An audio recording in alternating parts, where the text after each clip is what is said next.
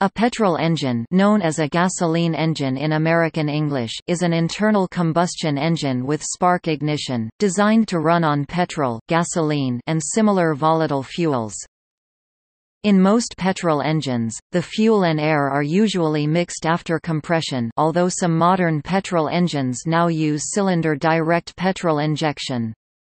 The premixing was formerly done in a carburetor, but now it is done by electronically controlled fuel injection, except in small engines where the cost, complication of electronics does not justify the added engine efficiency.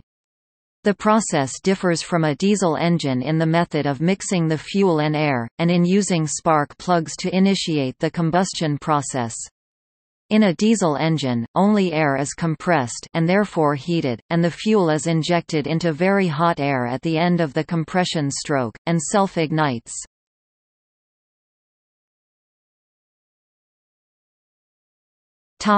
History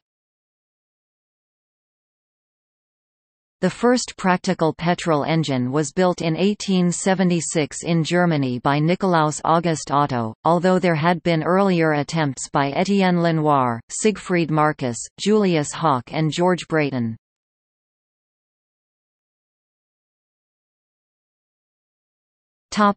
Compression ratio With both air and fuel in a closed cylinder, compressing the mixture too much poses the danger of auto-ignition—or behaving like a diesel engine. Because of the difference in burn rates between the two different fuels, petrol engines are mechanically designed with different timing than diesels, so to auto-ignite a petrol engine causes the expansion of gas inside the cylinder to reach its greatest point before the cylinder has reached the top dead center TDC position. Spark plugs are typically set statically or at idle at a minimum of 10 degrees or so of crankshaft rotation before the piston reaches TDC, but at much higher values at higher engine speeds to allow time for the fuel-air charge to substantially complete combustion before too much expansion has occurred, gas expansion occurring with the piston moving down in the power stroke. Higher octane petrol burns slower, therefore it has a lower propensity to auto-ignite and its rate of expansion is lower. Thus, engines designed to run high-octane fuel exclusively can achieve higher compression ratios. Most modern automobile petrol engines generally have a compression ratio of 10.0, 1 to 13.5, 1. Engines with a knock sensor can and usually have CR higher than 11.1, 1 and approaches 14.0, 1 for high-octane fuel and usually with direct fuel injection and engines without a knock sensor generally have CR of 8.0, 1 to 10.5, 1.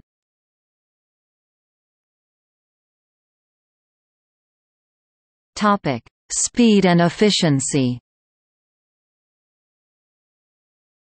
Petrol engines run at higher rotation speeds than diesels, partially due to their lighter pistons, connecting rods and crankshaft a design efficiency made possible by lower compression ratios and due to petrol burning more quickly than diesel.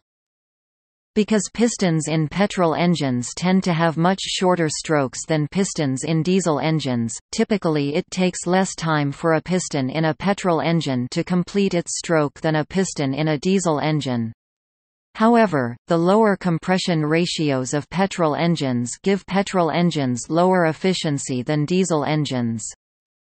Typically, most petrol engines have approximately 20% AVG, thermal efficiency, which is nearly half of diesel engines. However some newer engines are reported to be much more efficient thermal efficiency up to 38% than previous spark ignition engines.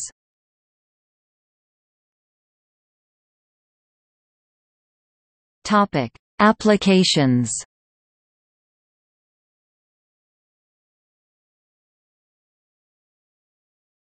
Topic: Current.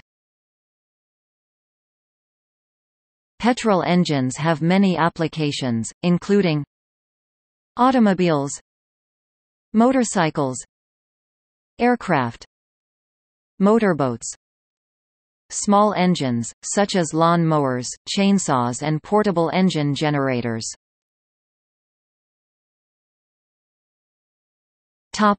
Historical Before the use of diesel engines became widespread, petrol engines were used in buses, lorries trucks, and a few railway locomotives. Examples Bedford O bus Bedford M series lorry GE 57-ton gas-electric boxcab locomotive Topic. Design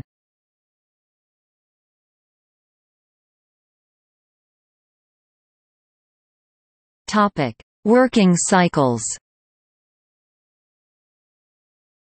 Petrol engines may run on the four-stroke cycle or the two-stroke cycle. For details of working cycles see Four-stroke cycle Two-stroke cycle Wankel engine Topic: Cylinder arrangement Common cylinder arrangements are from 1 to 6 cylinders inline or from 2 to 16 cylinders in V formation. Flat engines, like a V design flattened out, are common in small airplanes and motorcycles and were a hallmark of Volkswagen automobiles into the 1990s. Flat sixes are still used in many modern Porsches, as well as Subarus. Many flat engines are air-cooled.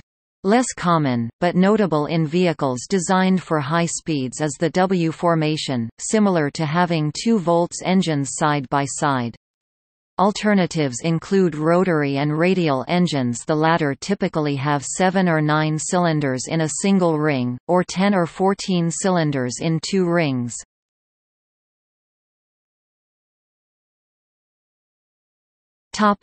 Cooling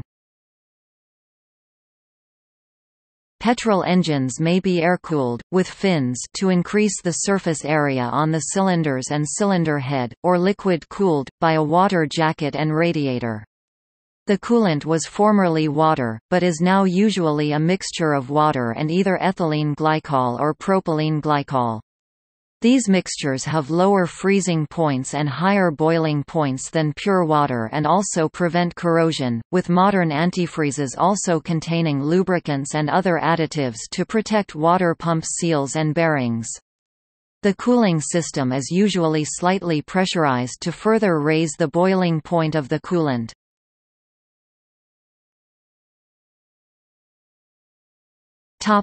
Ignition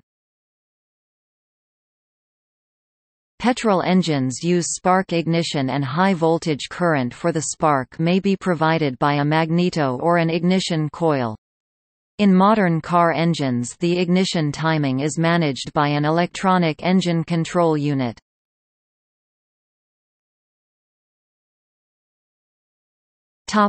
Power measurement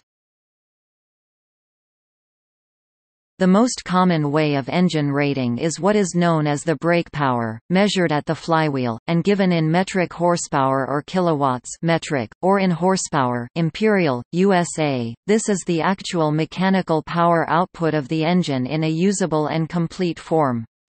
The term, brake, comes from the use of a brake in a dynamometer test to load the engine. For accuracy, it is important to understand what is meant by usable and complete. For example, for a car engine, apart from friction and thermodynamic losses inside the engine, power is absorbed by the water pump, alternator, and radiator fan, thus reducing the power available at the flywheel to move the car along. Power is also absorbed by the power steering pump and air conditioner if fitted, but these are not installed for a power output test or calculation. Power output varies slightly according to the energy value of the fuel, the ambient air temperature and humidity, and the altitude.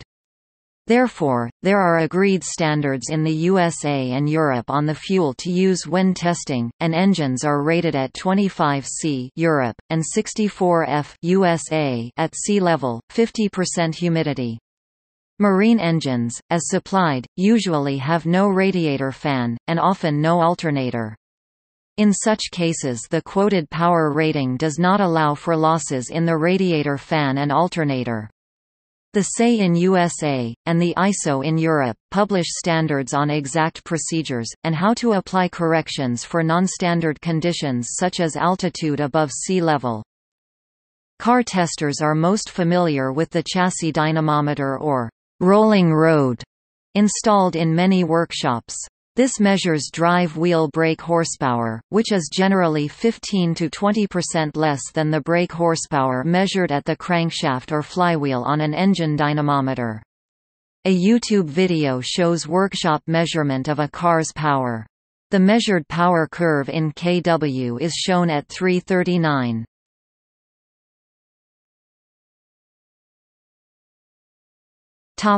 See also Bore Gasoline direct injection. Stroke. Diesel engine. Auto engine. Petrol